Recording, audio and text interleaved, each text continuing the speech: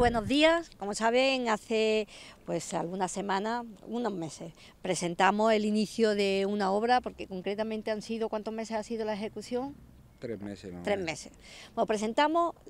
el inicio de la ejecución de una obra que era muy importante para el polígono industrial en San Pedro, una obra que además se había adjudicado a una empresa local como es Valle del Sol, que ha hecho un excelente trabajo. Y desde aquí, eh, bueno, pues el ayuntamiento y en colaboración con,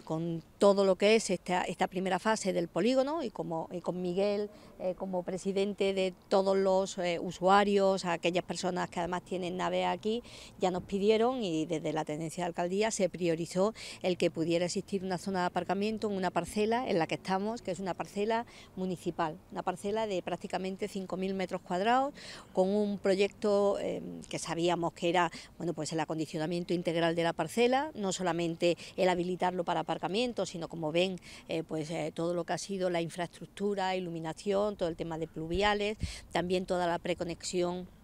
para que puedan existir los puntos de recarga eléctrica, que como saben hemos pedido los, las terminales tardarán pues eh, unas cuantas semanas más, pero ya está toda la preinstalación hecha para que también podamos tener, como se está haciendo en todo el término municipal, unos aparcamientos acordes con las necesidades reales de cada una de las zonas, que saben que el tema de aparcamiento es una realidad, y además, bueno, pues unos aparcamientos modernos, eh, bien planificados y por supuesto entendiendo que tienen que ser sostenibles, pues con esos puntos de recarga eléctrica para los coches que así lo necesiten. En este caso estamos hablando de 170 plazas de aparcamiento, como ven ven, ya les decía, en, el, en, pleno polígono industrial, justo eh, en la espalda de la policía local, de las instalaciones de la policía local. Tendrán además un régimen, tal como el ayuntamiento ya había acordado, un régimen eh, que permita la, la, total rotación. ¿no? Y en este caso, además, donde nos encontramos, y precisamente para que sea un aparcamiento de total rotación,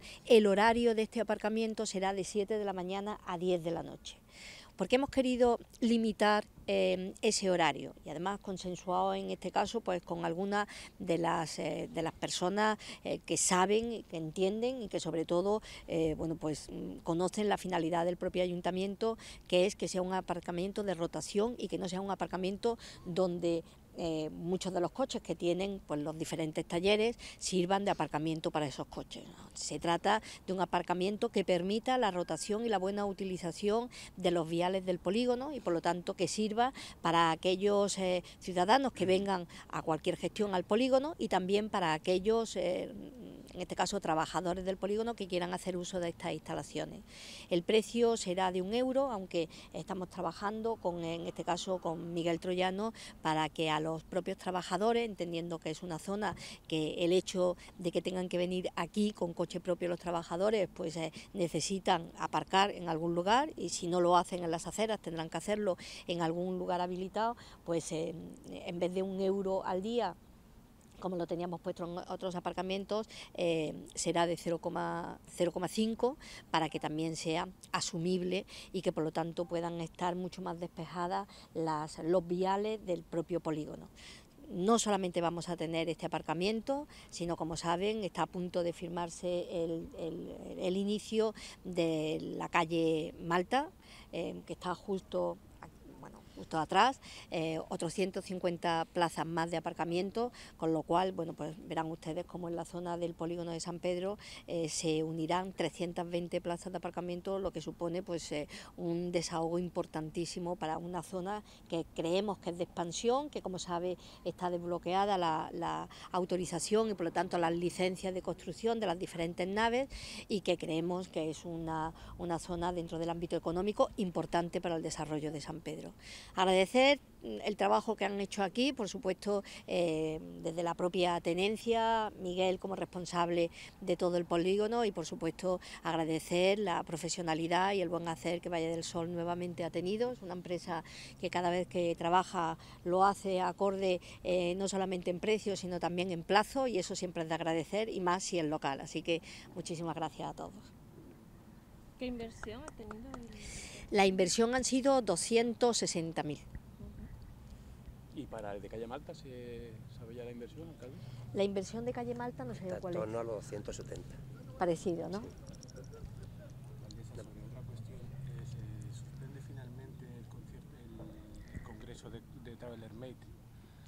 Sí, bueno, como saben, eh, estamos en un momento donde eh, la situación, eh, en este caso en torno al coronavirus, es una situación global. Como saben, muchísimas de las personas que venían eh, provenían de otros países y han entendido que en este caso, bueno, pues en recomendación también de sus países de origen, era aconsejable posponerlo. Saben que tenemos varios años firmados con Traveler y espero que, que podamos disfrutar de ese nuevo congreso lo más pronto posible se va a celebrar este año y se prorroga un año más el acuerdo. Estamos trabajando con ellos efectivamente para, para eh, como saben, tenemos ya firmado el próximo año y lo que estamos trabajando es eh, poder continuar no incluso un año, sino hacerlo a más largo plazo. Para las procesiones de Semana Santa se prevé algún tipo de restricción, de limitación. Bueno, nosotros estamos trabajando, como saben, eh,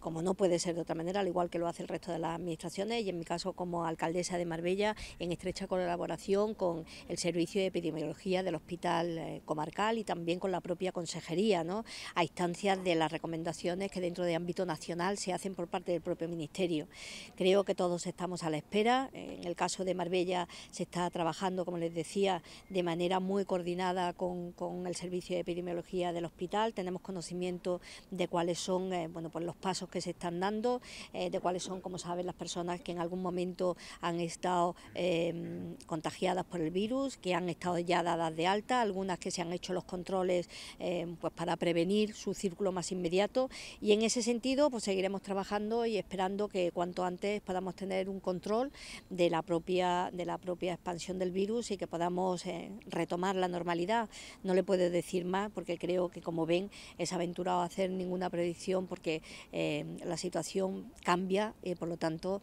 tendremos que ajustarnos a lo que en este caso nos marquen. ¿Desde el ayuntamiento se está fomentando medidas como el teletrabajo? Desde el ayuntamiento, mm, en este caso no hay ninguna recomendación para que así se haga y por lo tanto nosotros no vamos por libre. Eh, lo que sí se está haciendo es diferentes